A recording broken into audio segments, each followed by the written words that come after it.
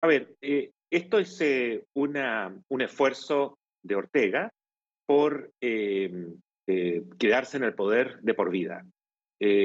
ya él perdió cualquier interés por mantener una, siquiera una fachada democrática.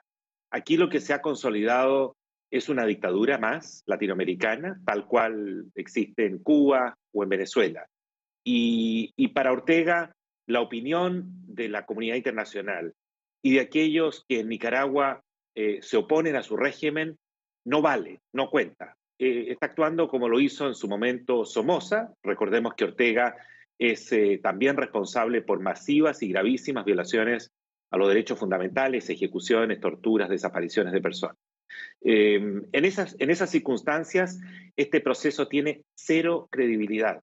Y, lo que cabe hacer es, a, partir de esta, fecha, entender que Ortega eh, gobierna eh, con un régimen de facto y no debe recibir el más mínimo reconocimiento internacional.